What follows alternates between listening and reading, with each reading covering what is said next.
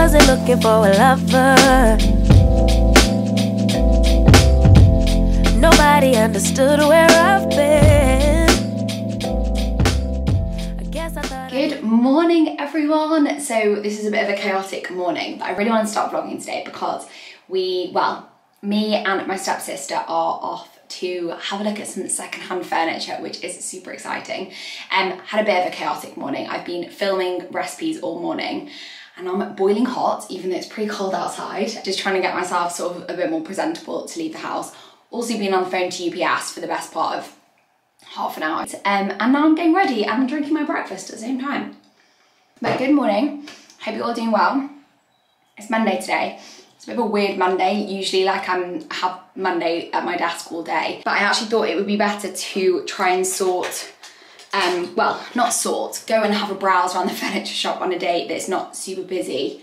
Um, you know, well, for obvious reasons, obviously it's nicer shopping when it's not super busy. I put on this outfit today and I quite like it, but I can't tell whether I look very like granny. I'm wearing cream and brown with the new New Balance trainers that I told you about in my last video. And I will actually show you it in a second. Um, but yeah, I don't, I don't know if I'm like absolutely convinced by it, but I do actually really like the trousers. I just don't know how to style them because I usually go in and try and style brown with black probably or white. Um, but there's something about cream and, cream and brown which is very like uh, grandparentsy sort of thing, which I don't know if that's like quite the vibe we're going for. And then we're heading off to, I think there are about three or four furniture shops that I really want to go to. Quite fancy upcycling a lamp or a bedside table or whatever. This is the outfit. So I've got this little cream knit on, which was from And Other Stories, maybe a couple of years ago. Um, these brown trousers, which I actually really love the fit of. And then the New Balance trainers. And then the other thing I've got is this little bag, which I actually think really makes the outfit, which is my stepsister's, which I have borrowed. Um, and I actually love it. I actually wore it yesterday as well. And I really want to get myself a cool kind of vintage leather bag that's the same sort of style as this because I feel like I can deal with this from a practical standpoint. So the first place we went to was this really random shopping centre and I actually found a charity shop which we were looking for furniture in and found this scarf for just two pounds. So I bought that. I've worn it a lot already so it was a great purchase. I found this secondhand furniture shop online and it actually had some really great pieces in. Not the cheapest ever, but some really beautiful pieces. And that first one I actually really considered buying. And I'm still kicking myself as to why I didn't buy both pieces that I ended up finding. And then that is the piece of furniture that I actually ended up buying. Although I didn't pay that much for it, I actually got £10 knocked off it. We went to a few more shops that day. They had loads of cute trinket things, but just nothing that really stood out to me or anything that I really needed. I'd remembered that Wilko's was really good for paint and just general supplies, so we headed in there, picked up those bits, and later that day, my dad came back to the shop with me and we picked up the piece of furniture which I had reserved earlier. Good morning, everyone. So I'm just with my mom. Say hey. Oh, you look so pretty. Um, we're actually kind of matching today as well in our beige coats. Um, we are going furniture sort of shopping. So my mum is actually an interior designer and she's been doing, you've been doing sort of a different job for the last couple of years, but all to do with design still, but more specializing in tiles. And she is now getting back into doing interior design with her own clients again, and she needs to kind of find new places to source things for clients and I'm going to get loads of inspo at the same time. So we have come into Manchester. I don't go shopping in Manchester that often, but we are going to go to Stockton's. We've actually just got to the car park here. Um, and there's another place you want to go to, isn't there, as well? Form. We're going to go to Form. Form. Form Lifestyle. Form Lifestyle. And thought we'd take you along and see if there's anything interesting.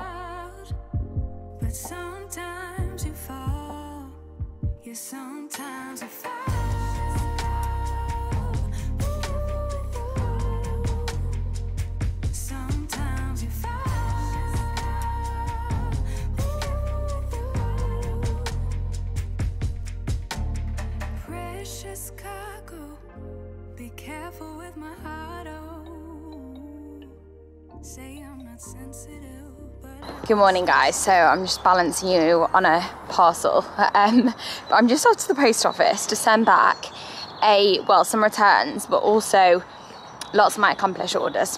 Um, got really living on the edge here. Feel like you're about to fall off. Um, but yeah, I don't know if I've spoken about it on my channel before, but I have a brand called Accomplish, and we've got two products at the moment. So one are resistance bands for the gym.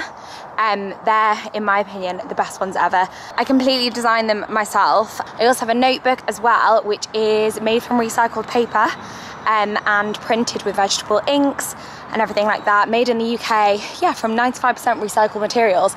I worked on the notebook for no joke about a year get it right but long story short i'm going to send some orders this morning and it is a frosty day it's honestly so cold so later on this day, I went to a furniture shop on the other side of Manchester with my dad. I actually found these four chairs, which were great. Again, I'm kicking myself. I didn't buy them and I should have gone back because they were only 55 pounds. I actually did buy two more decorative items, which I forgot to get a clip of, but I'm sure you will see them in some future videos. Today is upcycle day. As you've seen in some other footage, I think I showed when I actually picked this out earlier in the week. This is the piece of furniture we are working with. So I love this. I feel like you've got to use your imagination a bit. It's not in, oh, it's in okay condition. There are a lot of bit, bits on it that are a bit damaged. I don't know how well the camera's actually picking this up. I just thought this was such an interesting, slightly unusual sort of sideboard piece. I love this little detail with the tassel. Um, I've actually bought another tassel to replace that pink one with. Love how interesting this piece is. So these are actually fake drawers. They don't open. I do really like the hardware on these drawers though. And then this is the bit that I love because I just think that this is First of all, I just think it's quite unusual, but I love how much storage is in this.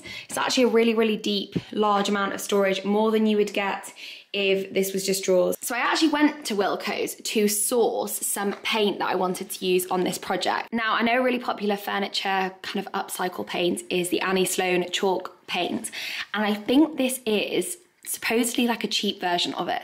I chose the colour Soft Putty um, and yeah, we'll see how this goes. It says chalky finish, quick dry. I think it's gonna be great. And then I read the instructions on the back of the tin and I bought some stain blocker primer, but I am actually gonna sand my piece down first. I bought some, I've actually already opened it because I tried to use it on something yesterday. I bought this medium sandpaper in 120 grit. So I have a proper outfit that I would be okay with getting loads of paint on. So I'm wearing Elliot's jumper, one that he said I could use because he's got two of.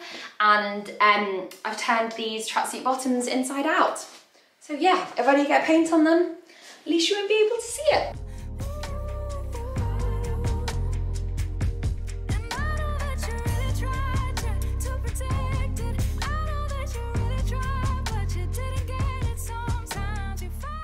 So I've sanded the top and I'm almost finished with this side and you can actually tell the difference. Don't know if it's picking up that well on camera, but it does look a lot lighter.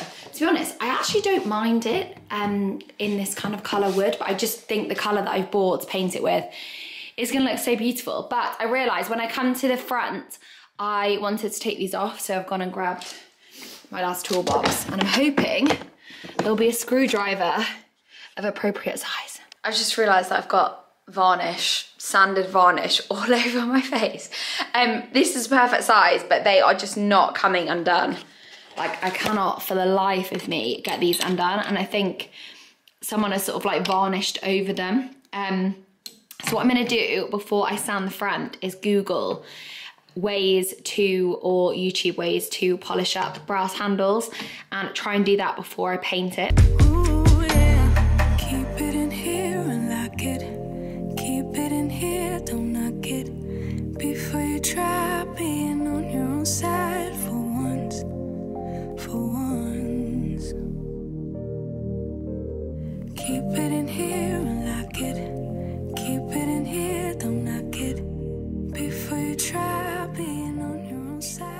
Right, so all the sanding is done and I've used some wood filler because there was there was a bit of damage and I think they'd filled it previously.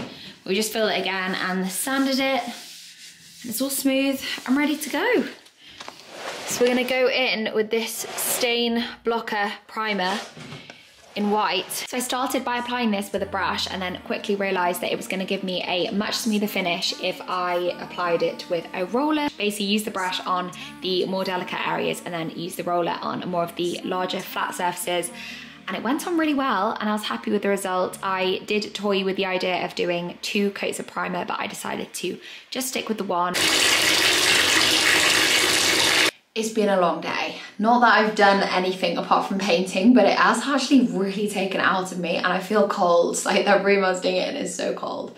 And like I really need a bath and just soak some of this paint off. My skin just feels so dry. I've decided to run a bath. I never have baths. I actually am really restless in baths. Um, and I'm gonna put in a load of these Dr. Teals. I love Dr. Teals and these are the Epsom salts which I've used multiple times before. I used to have loads of them at my flat in London and I'm gonna have a bit of a, like a mini pamper session. I'm gonna use this which leaves my hair really really soft. This is from Phyto Paris. This is my face wash that I use. It's the Paula's Choice one, the Optimal Results Hydrating Cleanser. I love it because I've got really dry skin. I'm also gonna use this SkinCeuticals Phyto Corrective Mask um, which I don't use very often because I'm a bit impatient with face masks. And I'm also gonna take some of my PhD Rest Nighttime Support, which I'm trying to remember to take every night because it's got some really great things in, such as magnesium, um, which also help you sleep. We're having a bit of an impromptu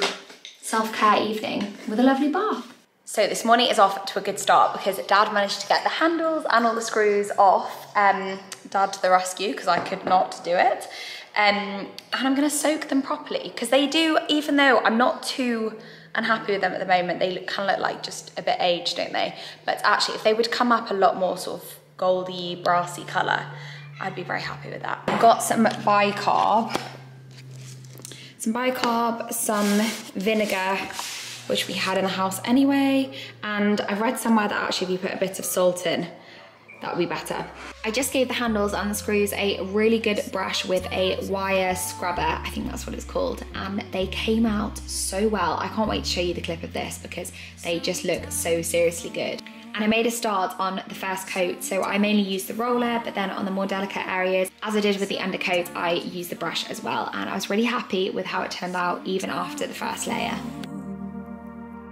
Second coat that I did, it was actually dark outside, so I didn't bother filming, but this is me just doing some touch-ups and kind of a third layer, more just sort of going over a few bits that needed going over again. In hindsight, I probably should have just done a full third coat on it, just because I think I did leave it a tiny bit patchy.